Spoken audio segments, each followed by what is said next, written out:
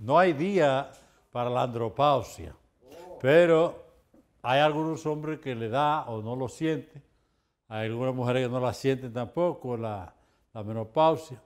De modo que, así como hay un día de la menopausia, debía haber también un día de la andropausia.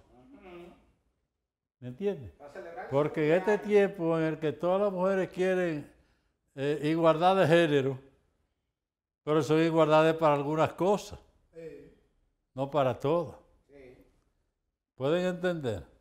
Y de modo que hoy es ese día muy, un día muy importante. Ustedes saben que van a inaugurar esta misma semana el muro, la parte del muro que va por, por allá, por, por, por el Piña, por ahí. Ajá. O, eh, pónmelo ahí, Faustino. Ahí está. El, el muro, eh, miren cómo ve ese muro, y bonito que se ve. Se ve bonito. ¿Eh? Ese es el muro que va, el presidente lo va a inaugurar este jueves por allá por el Leapiñas. De modo que la, el cruce, el trasiego de, de, de haitianos por ahí va a ser un poco difícil. ¿Entiendes? Es un muro y para los que no lo saben, porque siempre hay gente ignorante, ese muro o los muros lo están haciendo en todos los países fronterizos. En todos van haciendo muros. Y en Europa más todavía. En África ni se diga. En América todavía hay poco, pero en Estados Unidos hay muros. y el muro más alto del mundo es el de Estados Unidos. Sí, es alto. ¿Eh? Lo vimos ayer. Ese ni siquiera un paracaídas puede cruzarlo. ni un dron. ¿Eh? Ni un dron lo, vuela. El dron no puede sobrevolar ahí arriba. Es el muro más alto del mundo. Y como quiera lo vuela. Hay tipos que se las ingenian.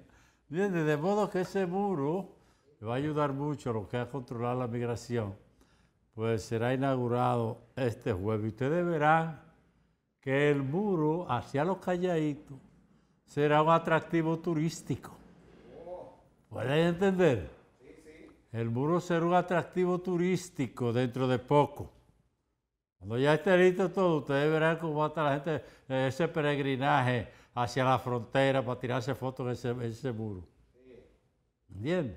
Para que ustedes vean cómo es la cosa. Ahí no me gusta mucho hablar de eso porque son cosas que no me incumben.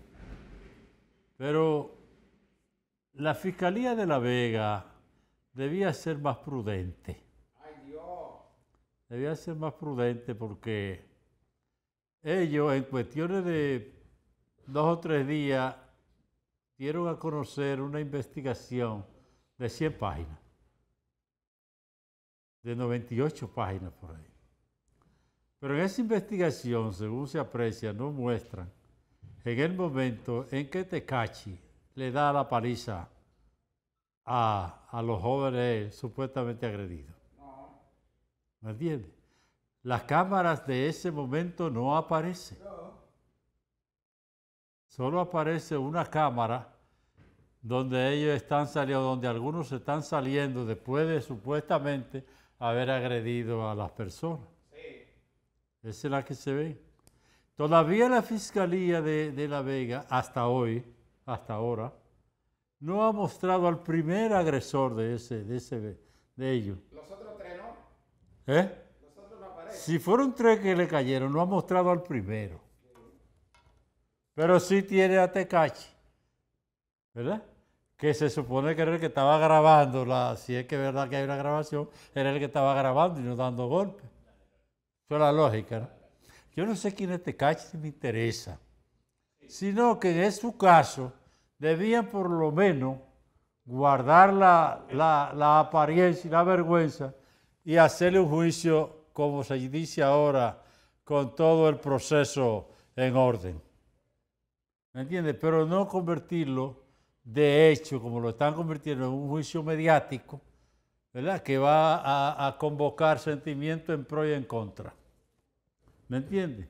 Porque si la fiscalía quiere que su expediente no se le caiga en instrucción o en cualquier instancia más alta, que haga ese expediente bien sustentado y con suficiente prueba.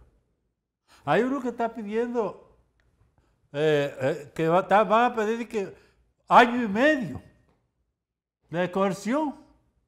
¿Dónde se había visto eso? Quieren pedir un año y seis meses de coerción para un caso que, que no, donde, no hay, donde no hay crimen. ¿Eh? Para una riña. Un año y seis meses. Entonces, ¿saben con lo que la fiscalía quiere un año y seis meses para estar, aparecer un año y seis meses haciendo eh, vaina mediática? Tener una gente trancada ahí un año y seis meses. Para dar- entre un año y seis meses, si le tumban el expediente, nadie se lo va se lo va a reponer. Hay que tener como. Yo pensé que era una broma cuando dijeron eso. Algunos dijeron, van a pedir 30 años. ¿Eh? Eso es intento de homicidio, jefe. ¿Eh? No, porque ya lo van a calificar de intento de homicidio. Sí, porque ellos fueron fue a eso. ¿Eh? Pero el Tecachi, según toda la evidencia, no participó.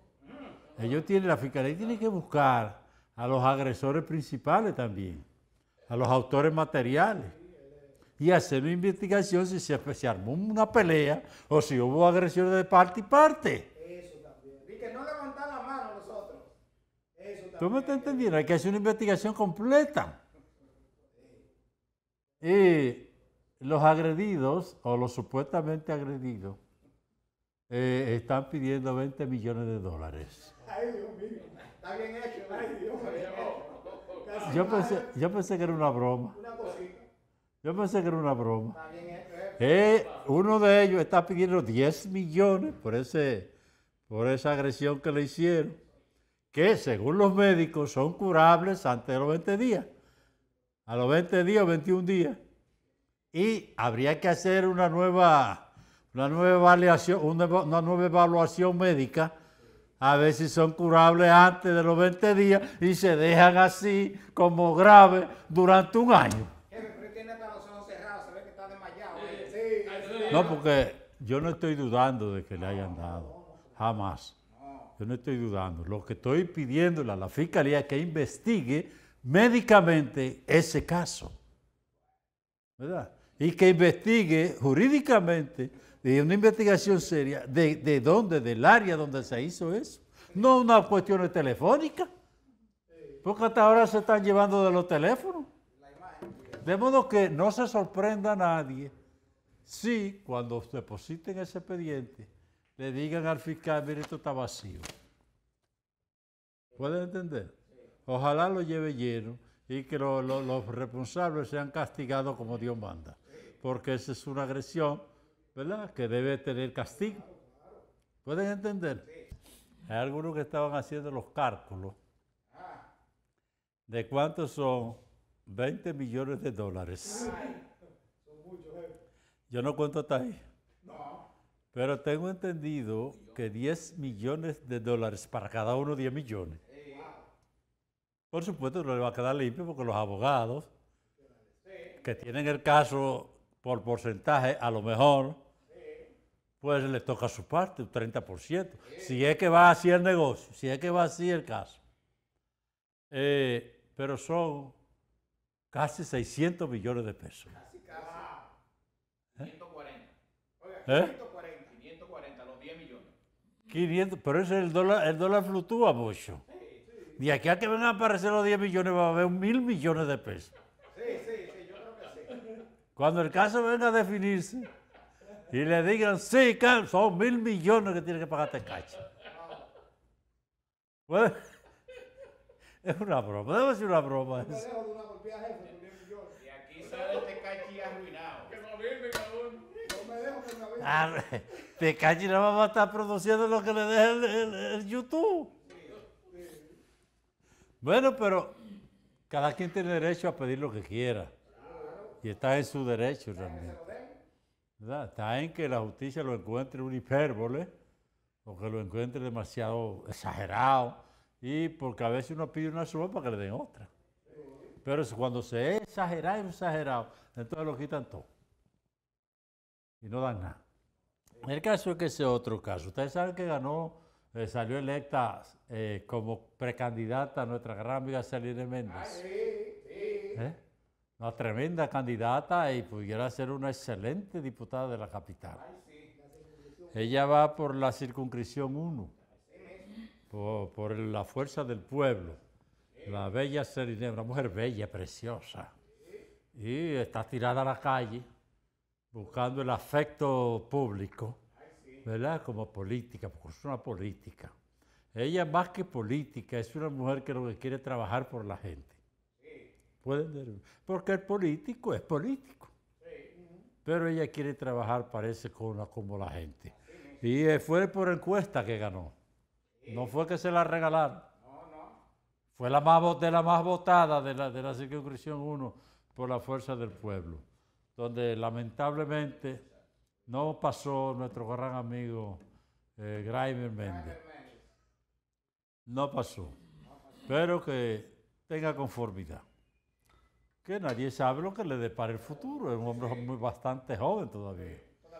Y el caso es que las encuestas tienen sus pros y sus contras. Los que han perdido la están desacreditando. Sí, siempre así es, increíble. O sea, como si hubiesen ido a la encuesta nada más a ganar. No se prepararon para perder. ¿Pueden entender? Y esas encuestadoras son muy serias las que hicieron esas encuestas. Hay un síndico de los Alcarrizos que perdió, lo vapulearon todo y le reservaron la... Ahora dije que fue por racista que le, que le dieron la...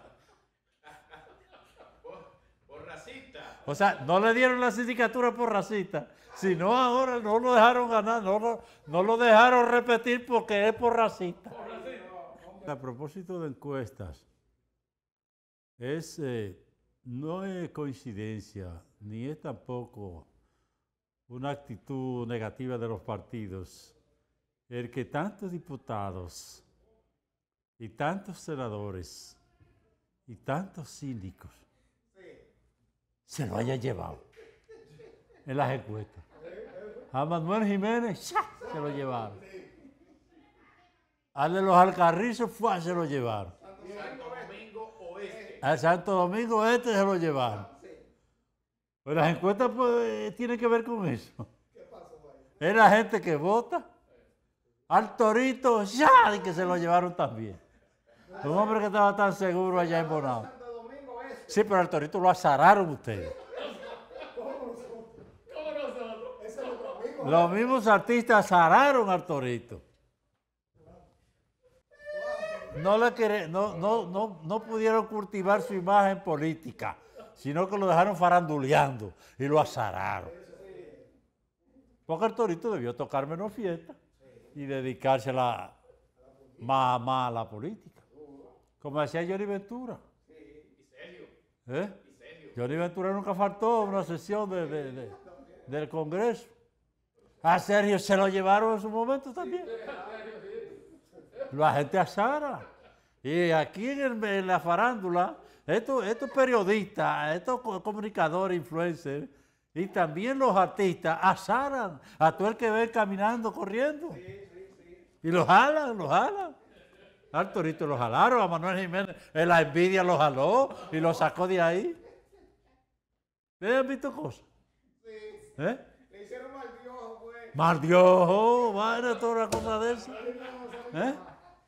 Entonces no me culpen a las encuestadoras ni a las encuestas, ni tampoco a la cúpula de los partidos. Fue la gente que no votó por ellos. Y todo el que se va y renuncia ¿eh? es un descarado, porque cuando ganó estaba ahí. Todo el que renuncia y se va es un descarado. ¿Me entiendes? Buenas tardes.